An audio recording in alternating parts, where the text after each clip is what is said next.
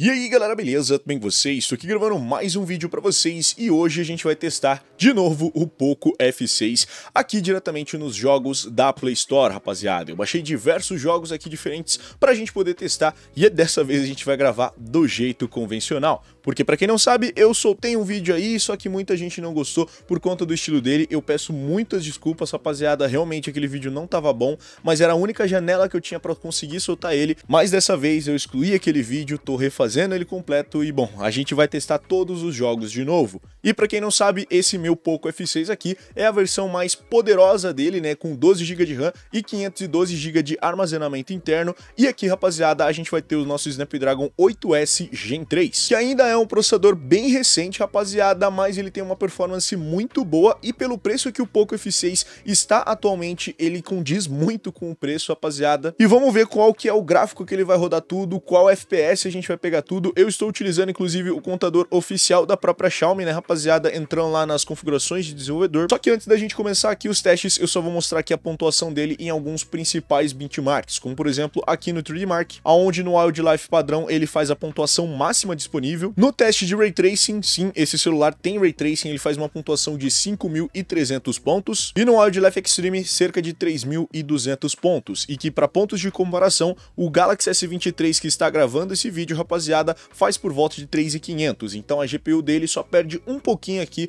para o Snapdragon 8 Gen 2 que está presente no S23. Em quesitos de CPU, com o Geekbench, rapaziada, a gente fez uma pontuação máxima de 5.146 pontos no multicore e no single core 1972, fazendo uma pontuação single core e multicore extremamente boas, comparáveis aqui também ao próprio Snapdragon 8 Gen 2. Mas bom, pra gente começar, vamos começar aqui com o nosso querido GTA San Andreas. Esse daqui é o Definitive Edition, rapaziada, ou seja, não é aquele mesmo GTA que roda tem um J2 Prime, esse daqui é o GTA da Netflix. E aqui dá pra gente ver um pouquinho porque que ele é o Definitive Edition, rapaziada. Ele é meio que um remaster, né? As texturas foram atualizadas para texturas HD, a iluminação foi completamente modificada, então não, não é aquele mesmo GTA que a gente vê por aí. Aqui no contadorzinho da Xiaomi a gente já pode ver que já está pegando os nossos 30 FPS diretamente por aqui, rapaziada, e como vocês podem ver, ele não desce além disso. Eu também aqui estou utilizando a configuração mais alta disponibilizada para ele, né, aqui na opção dos gráficos, e que como a gente pode ver, resolução máxima. Outro detalhe também muito importante da gente falar, rapaziada, é aqui no quesito do Game Turbo. Sim,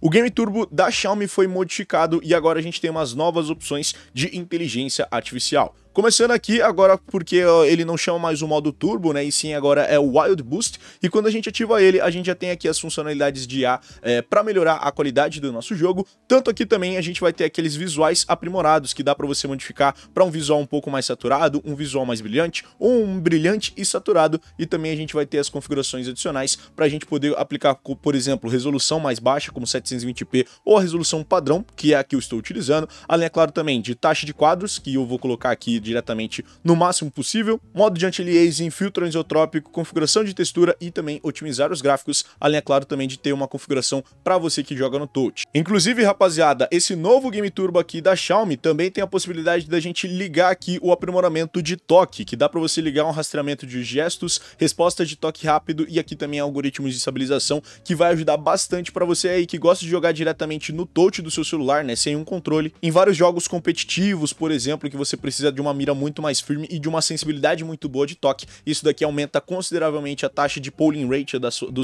da sua tela e você consegue um touch maravilhoso para você jogar diversos jogos. Mas enfim, voltando aqui finalmente para nossa gameplay, rapaziada, todo esse momento que eu fiquei falando aqui pra caramba, o nosso GTA não saiu de 30 FPS, ele continua rodando ali lindamente e bem liso e praticamente a performance dele não desce desses 30 FPS a todo momento. É claro, vai descer ali para 29, mas é muito pouco pra gente considerar e a gente não sente nenhum tipo de travada, coisa que em vários celulares esse GTA San Andreas Definitive Edition trava bastante. Segundo jogo da nossa lista é o Minecraft Beta, né rapaziada, que eu estou utilizando a versão beta que está disponibilizada dentro da Play Store, e mesmo com o nosso celular tendo Ray Tracing, rapaziada, e tentando aplicar as configurações de shaders de Ray Tracing, ele não ativa, mas aqui eu estou utilizando a nossa campo de visão em 90 graus, os gráficos com praticamente tudo setado para o máximo, e aqui também, rapaziada, a nossa é, guia aqui de frame rate máximo ilimitada, e a distância de renderização em 22 chunks, que é simplesmente a máxima renderização possível aqui para o nosso Minecraft. E bom, já abrimos aqui o nosso mundo, rapaziada, e além da gente ter o próprio contador da Xiaomi aqui nesse cantinho, a gente também vai ter o contador de FPS do próprio Minecraft. E é bem impressionante, na verdade, né, rapaziada, que ele simplesmente não sai ali de 60. Às vezes ele dá umas quedinhas ali para uns 40, né, principalmente em partes novas que a gente tem que renderizar nossas shaders, mas comparado às últimas versões aí, né, rapaziada, onde a gente testou no Poco X6 Pro e também aí no próprio Galaxy S23, a gente podia ver que ele tava travando demais, como por exemplo, descendo direto para 30 FPS, é, descendo abaixo até de 30, né, descendo diretamente para uns 20 FPS, mesmo no S23, e aqui agora a gente pode ver, ele também desce para 30 em várias áreas aqui, e olha só, dá umas belas engasgadas, mas ele ainda mantém um FPS por muito mais tempo, é, mais perto de 30 a 60 do que de 30 a 20, igual estava acontecendo no S23. Na verdade, agora ele está começando a dar umas travadinhas bem mais chatinhas.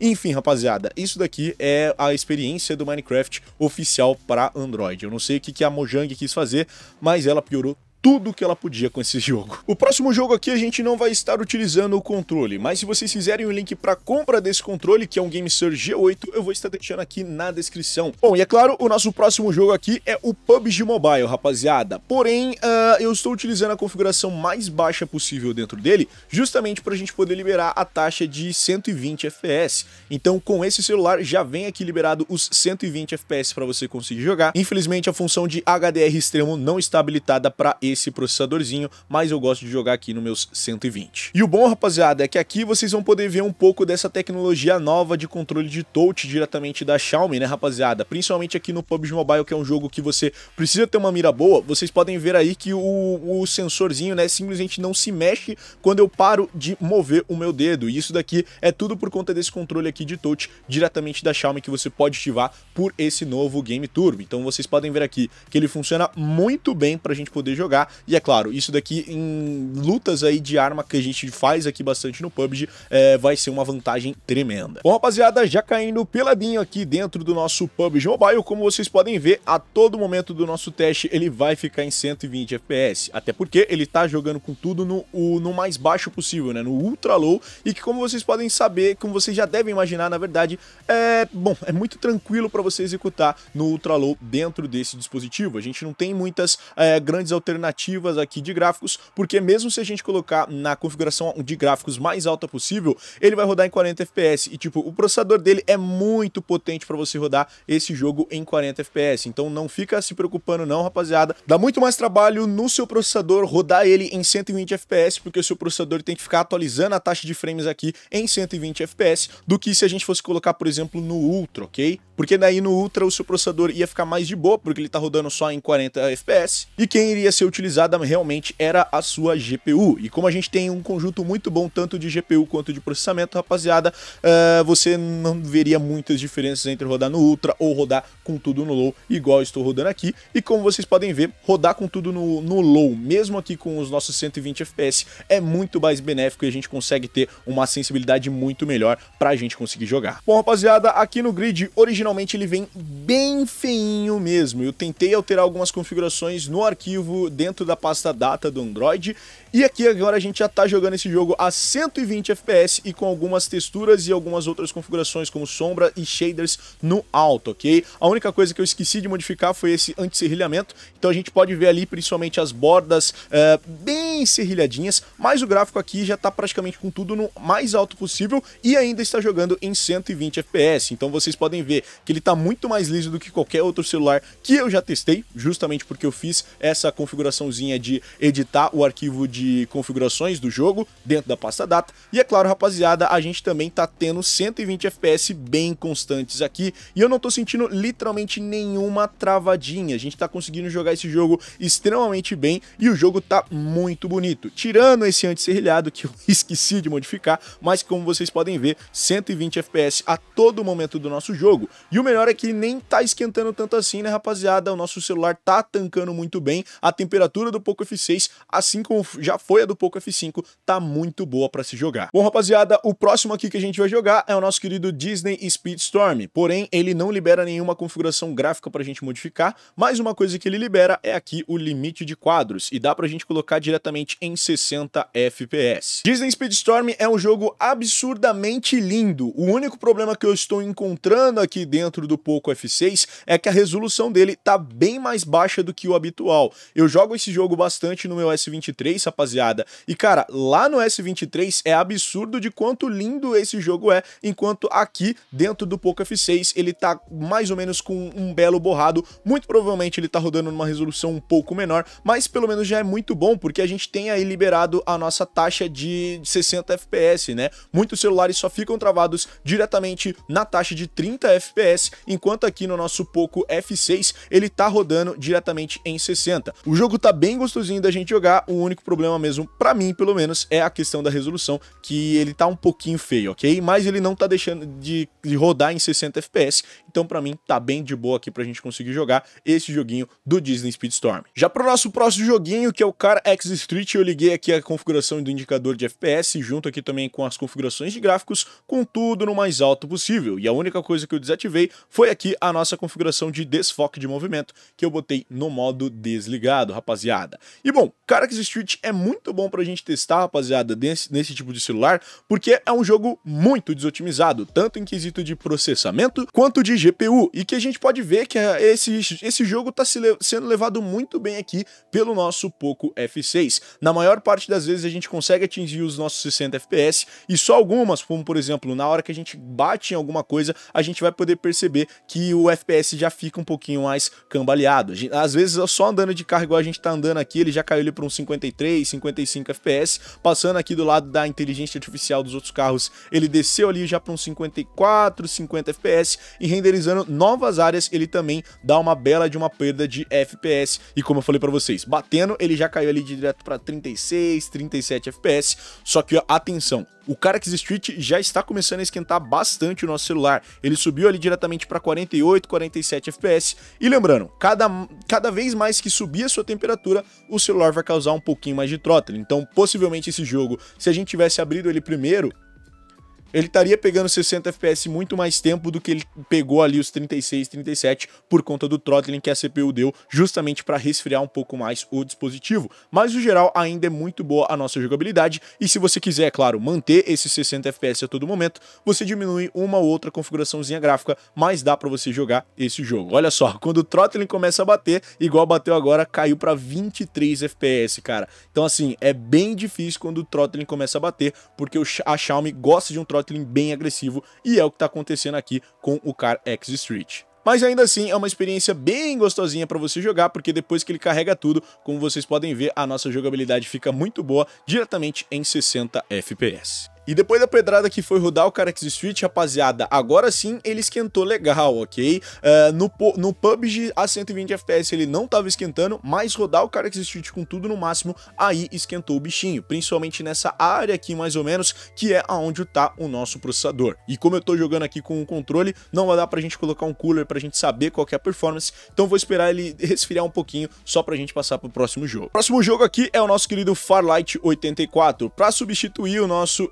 Apex Legends, né, rapaziada? O Farlight é literalmente a mesma coisa que o Apex Legends, só muda aí os personagens, justamente por eles não pagarem direitos autorais pra EA. Mas aqui na qualidade gráfica eu também coloquei na qualidade suave, justamente para liberar os 120 FPS, porque se a gente coloca na Ultra, por exemplo, ele já vai descer ali o nosso FPS novamente, diretamente para uns 40, 60 FPS, e a gente não vai conseguir jogar com tudo no talo. E é a mesma coisa do PUBG, se a gente colocar em 120 FPS, vai ser muito mais demandante para o nosso processador e para nossa nossa GPU do que se colocar tudo simplesmente no Ultra. Porque graças a essa mudança aqui também na qualidade de FPS, né, rapaziada, isso daí acaba prejudicando bastante porque meio que o nosso processador não vai trabalhar muito, a GPU já não vai tá 100% utilizada, então a gente vai colocar em 120 FPS para fazer um pouquinho mais de trabalho para o nosso processador. E bom, rapaziada, já nessa área aqui para a gente poder cair e tentar jogar um pouquinho de Fairlight 84, bom, esse jogo aqui é simplesmente incrível, é, é muito gostosinho de você jogar ele, eu achei que eu ia enjoar dele fácil, mas eu tô realmente gostando dele, infelizmente aqui ele tem uns visual meio é, sus, né, rapaziada, mas ainda assim, é um jogo que roda lisinho em 120 FPS, é um jogo que é muito gostosinho a gameplay, então você vai adorar, né? Se você gosta de um joguinho mais assim, né, mais Battle Royale, mesmo que já tenha passado essa onda, você vai gostar bastante de Fairlight 84. Ainda aqui com suporte a controle, fica muito melhor pra gente jogar, é claro, e pra mim também fazer os testes, né, que é um joguinho bem daorinha mesmo, rapaziada. Mas no geral é um jogo que aqui dentro do Poco F6 a gente tá rodando em 100, eh, 120 FPS a literalmente todo momento. Às vezes dá uma quedinha para 117, 118, mas é uma coisa quase que praticamente imperceptível e não é uma coisa que vai ficar te tiltando toda hora por conta disso, rapaziada. É um jogo que fica bem lisinho e a gente mal sente alguma coisa travar dentro dele. Principalmente aqui dentro do Poco F6, que como vocês podem ver, mesmo movimentando para todos os cantos de direção, ele ainda roda bem lisinho. Cara, 120 FPS nesse jogo é bem tranquilinho. Mesmo se a gente largar a bala aqui, né, vocês podem ver aqui que o jogo funciona tranquilamente de boa. E Fairlight 84 nesse celular é bem tranquilinho de rodar. E bom, rapaziada, já aqui começando o nosso querido Genshin Impact. Bom, deixa eu só tentar matar eles aqui, só para vocês poderem ver aqui também, né? Eu estou rodando com ele com tudo no Ultra a 60 FPS ali a todo momento do nosso teste, como vocês podem ver aqui, rapaziada. E ainda é um jogo que eles, é, segundo a Xiaomi, é, vão chegar recursos de inteligência artificial para esse jogo, para você conseguir jogar esse jogo com maior resolução, rapaziada. Não sei se também vai ter um recurso de inteligência artificial para aumentar o FPS, né? Assim como é, é atualmente nas placas Nvidia, né? E nas placas AMD com FSR3 e Frame Generation aí da Nvidia. Eu espero que chegue, porque jogar Genshin em um celular que já é capaz de rodar em 120 e tá rodando aqui só em 60, rapaziada, fica meio triste. Mas, cara, é bem de boa para você jogar Genshin dentro desse dispositivo, não trava praticamente nenhuma hora, vocês puderam ver que caiu uma vez ou outra ali para uns 55 e 56 FPS, mas nada muito além disso, né? Eu só quis matar eles aqui só pra gente poder ver, mas agora, né, agora que já tá tudo limpo, a gente pode vir aqui nas configurações gráficas e como vocês podem ver, com tudo aqui no muito alta e aqui, né, o nosso FPS em 60 e com desfoque de movimento também desligado. Todos os, todas as outras configurações aqui estão no mais alto possível e ainda assim o nosso Genshin roda lisinho através desse celular. Pode ser em combate, pode ser no meio das cidades, pode ser aqui até no meio do aberto em combate e que como vocês podem ver, ele roda lindamente bem em todos os efeitos, né? Vou até colocar aqui a minha ult, que solta bastante fogo e tudo mais, e olha só, ele ainda não caiu ali dos 59, 60 FPS, porque ele tá muito bem otimizado. Bom, rapaziada, já que pro próximo jogo é o nosso Fortnite, então vindo aqui nas nossas configurações dele, como vocês podem ver, ele também desbloqueia aqui pra gente os 90 FPS, junto aqui também com configuração baixa. Se a gente colocar na configuração mais alta, aí ele vai desbloquear apenas 30 FPS e a gente quer ver o processador é, tacando o pau aqui dentro do, do Fortnite, né, rapaziada? Mas aqui a gente tá com a configuração é, de qualidade baixa e aqui a resolução 3D em 100%, com a qualidade da textura no modo baixo, porque se a gente ligar no modo alto ele também abaixa aí para 60 FPS, e aqui, rapaziada, outras coisas também desligadas, ok? E bom, rapaziada, já jogando aqui o nosso Fortnitezinho, aqueles 60, aqueles 90 FPS, na verdade, eram completamente fakes. Já é o segundo celular que eu testo, na verdade, o terceiro celular que eu testo, que o Fortnite fala que tem o suporte a 90 FPS, mas é mentira, né, rapaziada? Eu, eu entendo, é junho, ele fala que é mentira, né, por conta da, da cantiga, mas como vocês podem ver, é, 60 FPS também não é ruim, rapaziada. Tá jogando aqui bem lisinho, tá bem gostosinho da gente jogar o Fortnite dessa forma. Não trava em absolutamente nenhum momento, mesmo se a gente girar aqui, dar um 360, um triplo twist carpado pra frente, pra trás e pegar rapel. Não trava, rapaziada, mesmo se a gente jogar também com o carrinho, ok? Eu já joguei aqui umas partidinhas antes e, cara, tá jogando bem tranquilinho esse jogo. Eu vou, inclusive, tentar achar um carrinho só pra gente poder ver, ou pelo menos entrar numa treta, né? Que eu acho que tem uma treta bem aqui na frente, porque daí atirando um pouquinho em algumas pessoas a gente vai poder ver qual que é a real performance, né? Olha só, carregando um pouquinho mais aqui é, da, da nossa sessão, a gente pode ver que ele deu uma leve caidinha ali dos 60 FPS para uns 40, 56 FPS, mas ainda assim é uma boa jogabilidade. Você vai ter uma jogabilidade realmente muito gostosinha para você jogar esse jogo e que, como vocês podem ver, não dificulta tanto assim a sua experiência no geral. E eu tô errando absolutamente todo e qualquer tiro que eu tentei aqui nesse cara, né? Vamos ver se eu consigo atirar aqui nessa parte. Não, não consegui. Vamos tentar mais uma vez atirar nesse cara. Ah, eu vou morrer. É, morri lindamente, rapaziada. Eu nem consegui atirar, nem cliquei. Mas como vocês puderam ver, 60 FPS lisinhos pra gente conseguir jogar esse joguinho dessa forma. E pra gente fechar com chave de ouro, é claro, a gente vai testar também o nosso Call of Duty Warzone Mobile ou o Flop Zone Mobile. Vamos vir aqui nas configurações gráficas. Agora ele mudou um pouquinho do jeito que ele fala as configurações gráficas, né? Antes a gente tinha aqui umas um, um preset né, de médio ou alto, aqui agora a gente tem o menor ou o maior, no caso o maior é ainda a qualidade alta e o menor é a qualidade média, ok? Ele tem aqui uma outra configuração para representar a qualidade muito baixa ou ultra baixa e então a gente vai jogar no modo menor, porque foi aonde eu testei todos os outros celulares dentro dele. A gente também está aqui com a taxa de quadros no modo sem limite e aqui também, né, rapaziada, a nossa configuração de campo de visão em 90, que também foi aonde eu testei todos os outros dentro dele, mas ele suporta até 120, ok? Bom, rapaziada, já jogando aqui o nosso querido Warzone ou Flop Zone Mobile, como vocês podem ver, já no comecinho aqui ele já tá pegando 100 FPS, né?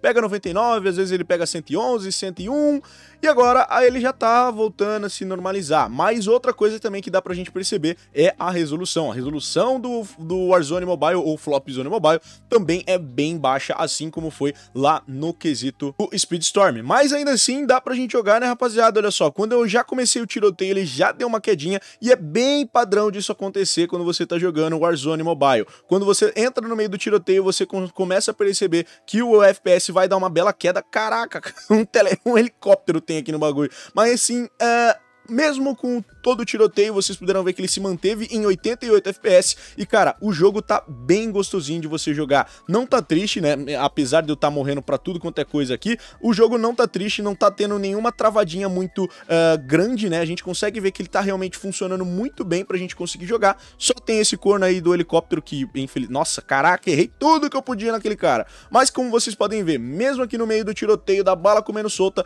a gente ainda consegue jogar numa boa esse jogo. E ainda mais de 100 FPS, cara. Isso daqui é realmente bem incrível. Eu não achei realmente que esse jogo fosse pegar mais de 100 FPS, mas como vocês podem ver aqui, ele já tá pegando 100 FPS no mapa Rust, ok? Pelo menos mais de 100 FPS em vários momentos do nosso jogo. Agora que ele foi dar uma queda brusca, ele caiu diretamente de 100 para 60 FPS, cara. E isso daqui é mais uma vez o throttling extremamente agressivo da Xiaomi sendo aplicado. Vocês podem ver ali a nossa temperatura da bateria, né? Chegou para 48 graus a temperatura da bateria, então muito provavelmente foi mesmo o throttling da Xiaomi aplicando agora, né? Principalmente agora que ele chegou em 48, né? O throttling é aplicado e a performance cai rapidamente. Então o meu futuro plano aqui pra gente conseguir jogar o nosso COD, rapaziada, e principalmente jogar bastante nesse dispositivo, é eu fazer root dentro dele, tirar esse limite térmico para a gente conseguir alcançar aqui ainda mais FPS e eu quero ver o que, que esse celular com root poderá fazer com esses joguinhos mais pesados como o próprio Call of Duty Warzone Mobile. Mas no geral, galera, como vocês puderam ver, esse celular é simplesmente uma besta. Conseguiu tancar todos os jogos aqui que a gente pôde testar no, na qualidade mais alta ou pelo menos no FPS mais alto e todos eles praticamente sem cair ou perder performance. Os únicos que eu não gostei assim da performance, rapaziada, foram aqui o Disney Speedstorm e o COD Warzone, tanto aqui pelo COD Warzone esquentar bastante o celular e o gráfico dele não tá muito bom, né? Tá bem borrado, e o Disney Speedstorm também por ele ter esse probleminha de borrar os gráficos, de rodar uma resolução bem menor. Mas isso daí já é uma questão do jogo, né? Não do celular, porque se o celular pudesse ele rodava com tudo no talo. Mas ainda assim vocês podem ver que o Poco F6 é simplesmente um monstro, uma besta enjaulada e que a Xiaomi vai ter bons frutos aqui com ele. E esse processador Snapdragon 8S Gen 3 está muito bem acertado no quesito de temperatura, porque mesmo depois de jogar por muito tempo, ele não esquentou tanto. O único jogo que ele realmente fritou a minha mão foi o quesito aqui do Carex Street, mas fora ele, todos os outros jogos rodaram muito bem no quesito temperatura. Enfim, galera, esse daqui foi o teste do nosso Poco F6 com jogos da Play Store. Eu ainda vou fazer vídeos de emuladores com ele, vou fazer vídeos aí também rodando um emulador de PC, tentando rodar aí GTA V e todos aqueles outros jogos, pra gente se ver como que tá a performance dentro dele. No geral, esse daqui foi o vídeo, espero que vocês tenham gostado. Se vocês gostaram, não esqueça de deixar o seu gostei aqui embaixo, se inscreve no canal aqui embaixo também para mais vídeos como esse e vários outros, comenta, compartilha, adicione os vídeos favoritos, liga o sininho para não perder mais nenhum vídeo, e é nóis galera, valeu e falou, tchau tchau.